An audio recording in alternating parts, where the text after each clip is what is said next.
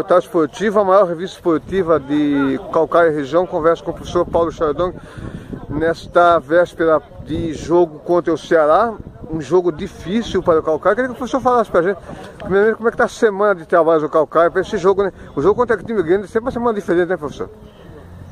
É, nós estamos fazendo uma semana cheia, né? Depois da, daquela maratona do primeiro turno, né?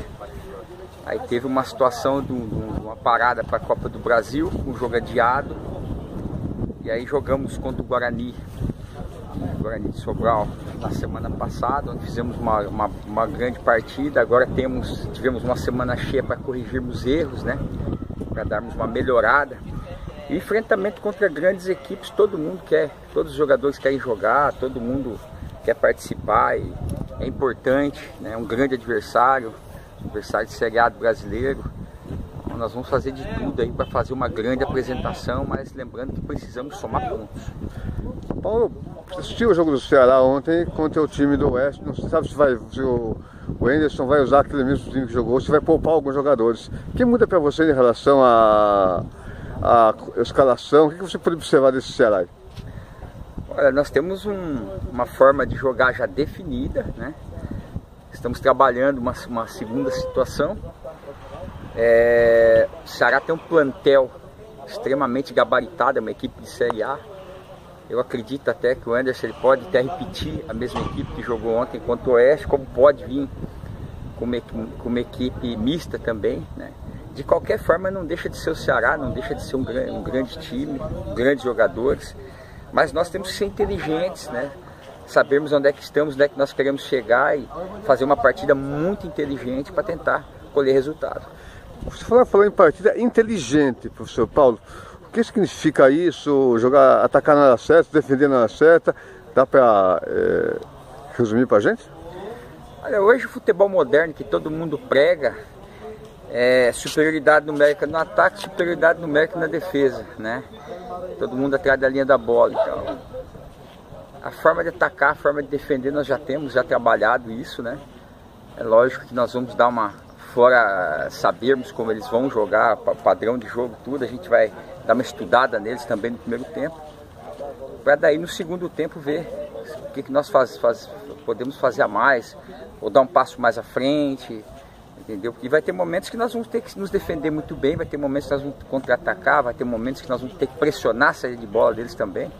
Eu acredito que vai ser um grande jogo, onde nós temos que fazer um jogo, como eu falei, inteligente para somarmos pontos.